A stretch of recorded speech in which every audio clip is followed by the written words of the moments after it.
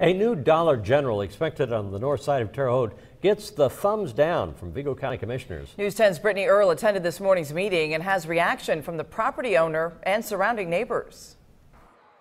The future of this lot is destined to stay empty a little while longer.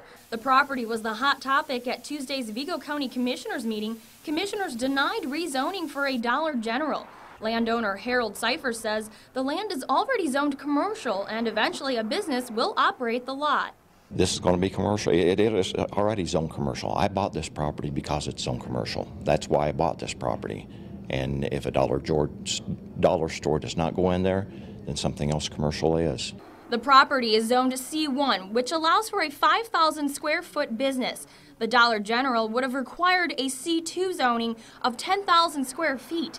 Melanie Hurst, who lives two doors down from the property, says it wasn't the type of business that concerned her, it was the size. We're not opposed to a 5,000 square foot C1 uh, commercial building. If they want to put one in there, that's fantastic.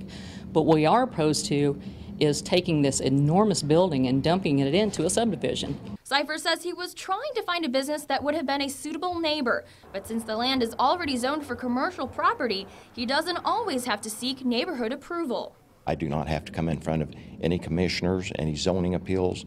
It's already zoned. All I've got to do is, Jane, Jane submit a site plan and start building. Which means it's only a matter of time till the neighborhood receives a new business.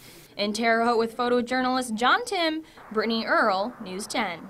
Now, News 10 found eight Dollar Generals already exist in the Terre Haute area. Now let's get away.